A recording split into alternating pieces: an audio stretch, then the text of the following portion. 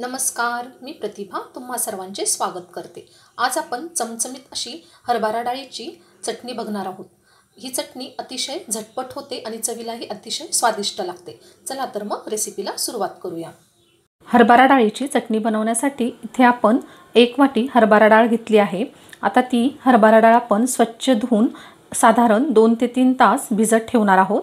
जर तुम्हाला घाई असेल तर तुम्ही ही डाळ कोमट पाण्यात भिजत घालू शकतात. म्हणजे डाळ एखाद्या तासात छान भिजते. आता डाळ इथे मी दोन ते तीन तास छान भिजवून घेतली आहे.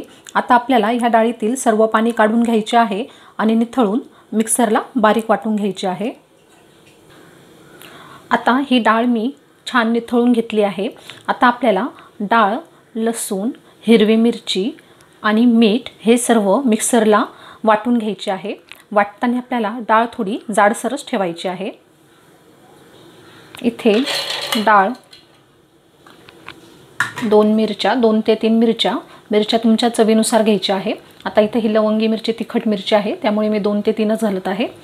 पाच सहा लसणाच्या पाकळ्या. आणि चवीनुसार मीठ.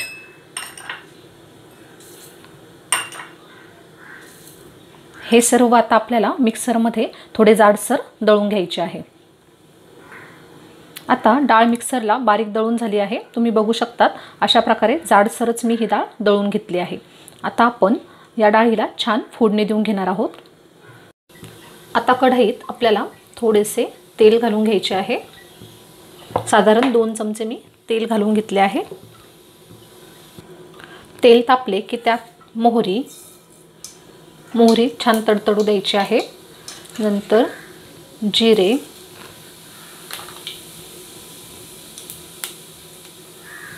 आणि हिंग.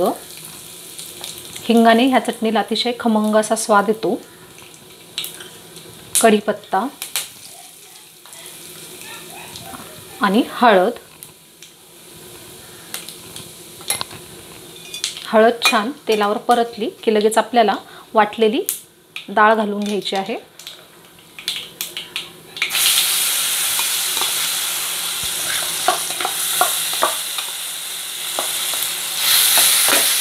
आणि ही डाळ तेलावर छान परतून घ्यायची आहे.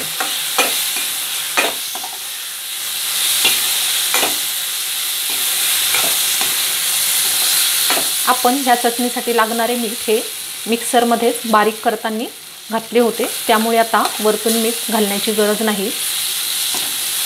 आता डाळ छान फोडणीत मिक्स झाली की आपल्याला साधारण तीन ते चार मिनिट याला वाफ काढून घ्यायची आहे. डाळ छान फोडणीत मिक्स झाली की आपण आता वरतून झाकण ठेवणार आहे आणि एकदम कमी गॅसवर तीन ते चार मिनिट वाफ काढून घेणार आहोत. तीन ते चार मिनिट झाले आहे. आता आपण बघूयात. डाळीचा खमंग असा छान वास येत आहे. आता आपल्याला ही डाळ मिक्स करून घ्यायची आहे. तुम्ही बघू शकतात अतिशय कोरडी अशी ही डाळ आपली तयार आहे. थोडी थंड झाली की ते आणखी मोकळी भरभरीत होईल. आता यावरून थोडीशी कोथिंबीर घालून घेणार आहोत.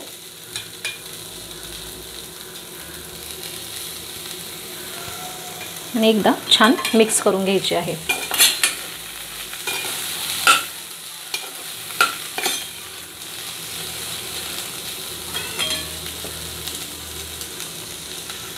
आता गॅसची फ्लेम मी बंद करत आहे आणि थंड झाल्यावर आपण ही डाळ सर्व करून घेणार आहोत. आता ही चटणी आपली थंड झाली आहे. तुम्ही बघू शकता थंड झाल्यावर ही चटणी अतिशय मोकळी झाली आहे. जर तुम्हाला वाटले की याच्या गिठळ्या झाल्या आहे तर तुम्ही हाताने त्या मोडून घ्यायच्या आहे. अगदी सहज त्या मोडतात. आता आपण चटणी सर्व करून घेऊयात. अशा प्रकारे डाळीची चटणी आपली तयार आहे. इथे बघू शकतात अतिशय मोकळी भरभरीत अशी छान डाळीची चटणी तयार आहे. ही चटणी तुम्ही चपातीसोबत देखील खाऊ शकतात. डाळ भात भाताला तोंडी लावायलासुद्धा ही चटणी तुम्ही बनवू शकतात. जर तुम्हाला ही रेसिपी आवडली असेल तर चॅनलला लाईक शेअर आणि सबस्क्राईब नक्की करा. पुन्हा भेटूया अशाच नवनवीन रेसिपीसह तोपर्यंत. बाय बाय धन्यवाद.